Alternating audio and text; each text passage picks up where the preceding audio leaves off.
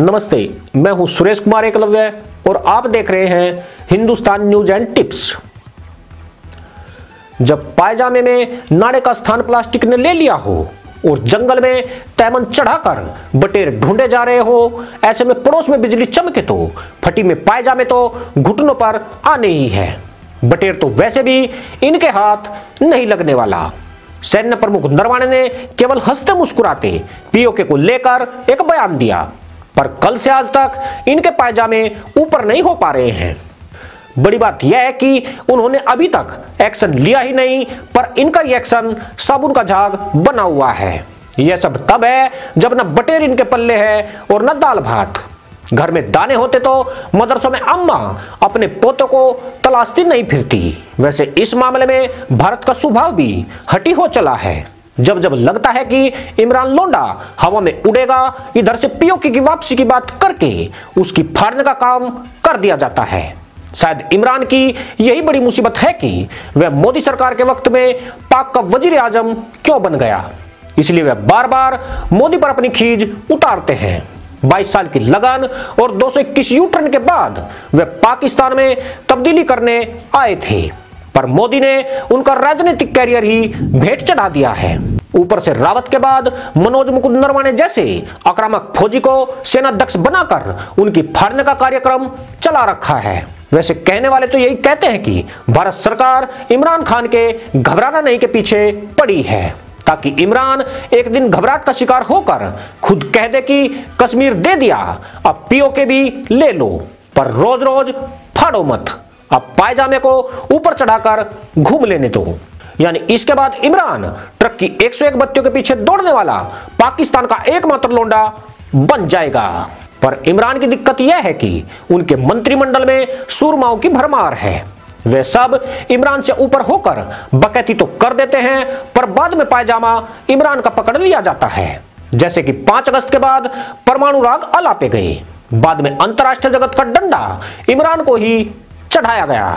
दरअसल कल विदेश मंत्री एस जयशंकर के पीओके के वापस लेने संबंधी बयान पर सेना प्रमुख नरवाणे ने कहा था कि संसद का प्रस्ताव है कि जम्मू कश्मीर का पूरा क्षेत्र हमारा है, जिसमें पीओके भी शामिल है। अगर संसद चाहती है कि वो इलाका भी हमारा हो और हमें वह आदेश मिलता है तो इसके मुताबिक कार्रवाई की जाएगी। गौरतलब है कि नरसिंह राव सरकार के दौरान फरवरी उन्नीस सौ चौरानवे में संसद में संकल्प प्रस्ताव पारित कर पीओके को जम्मू कश्मीर का क्षेत्र बताते हुए भारत का हिस्सा करार दिया था। इससे पहले रक्षा मंत्री राजनाथ सिंह ने जम्मू कश्मीर से अनुच्छेद 370 हटाए जाने के बाद कम से कम दो बार साफ़ कहा है कि अब पाकिस्तान से कोई बातचीत केवल पीओके के मसले पर ही होगी। इसके बाद से ही इमरान का खोप बढ़ा हुआ है। इमरान जब जब इस घबराहट से बाहर आता दिखाई देता है, भारत की तरफ़ से उसे पीओके की डोज दे दी जाती है। इधर डीजीआईएसपीआर की तरफ़ से गिदड़ भबकी आई की एलओसी पर उनकी सेना तैयार है। वैसे इनकी सेना बालाकोट और उरी प्रकरण के बाद भी तैयार थी। पर आधी रात को पाकिस्तान को सोने का संदेश देकर यह खुद भी खर्राटे लेने लगे थे। जिसके बाद पाकिस्तानी जनता इनकी मदरसा ज़ुबान का मतलब समझने लगी है। अब सवाल यही है कि भारत इस तरह इमरान की कब तक फाड़ता रहेगा? जनता तो यही आस लगाए बैठी है कि रोज रोज फाड़ने से अच्छा एक बार फाड़कर कहानी खत्म करो।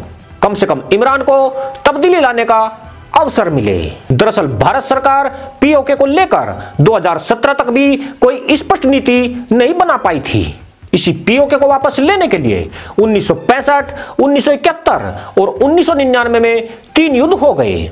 हालाँकि 1999 को कारगिल युद्ध के रूप में जाना जाता है मगर पाकिस्तान कश्मीर को पीओके का हिस्सा बनाने की फिराक में था पर वहाँ भी उसे मुँह की खानी पड़ी। मोदी सरकार से पूर्ववर्ती सरकारें पाकिस्तान के प्रति उदारता दिखाती रही। इसी परिपाटी को अटल बिहारी वाजपेयी सरकार ने भी आगे बढ़ाया।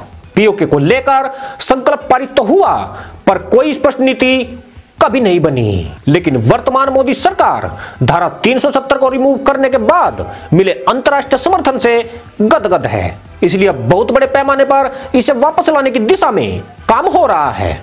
मोदी सरकार की मंशा यही है कि किसी घोषित संघर्ष की बजाय पीओके को हासिल किया जाए। इसके लिए फिर से अंतर्राष्ट्रीय जगत में यह प्रचारित किया जा रहा है कि पीओके भारत का हिस्सा है, जिस पर पाकिस्तान ने अवैध कब्जा करके रखा है। इसमें आधे से ज़्यादा भूमिका पाकिस्तान भारत की चाल में फंसकर निभा रहा है। वह दुनिया में ढिंडोरा पीट रहा है कि भारत पीओके पर कार्रवाई करने की फिराक में है। यानी इस वक्त पीओके को अंतर्राष्ट्रीय मुद्दा बनाकर उसे वापस पाने की एक ओपन पॉलिसी पर कदम बढ़ाए जा रहे हैं। इस मसले पर कानूनन भारत का पक्ष मज़बूत है।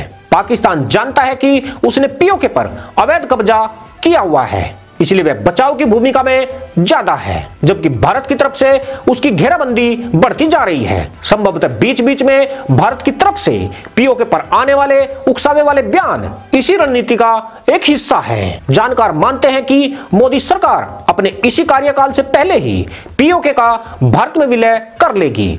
इसके लिए भारत की नज़र पाकिस्तान की घरेलू राजनीति पर टिकी हुई है। यानी पाकिस्तान यदि अस्थिरता की तरफ़ बढ़ता है तो उस वक्त भारत वह मौका गंवाना नहीं चाहेगा। फजलुर रहमान द्वारा अक्टूबर में किया गया आज़ादी मार्च ऐसा ही अवसर बन सकता था। लेकिन पाक फौज को भारत का मंतव्य समझ में आ गया, जिसके बाद फजलुर को वस्तु स्थिति से अवगत कराया गया। शायद इसीलिए पाकिस्तान बार बार उसे अस्थिर करने के आरोप भारत पर लगाता रहा है। आशा है दोस्तों वीडियो पसंद आया होगा, आपसे शीघ्र भेंट होगी। तब तक के लिए अनुमति दीजिए।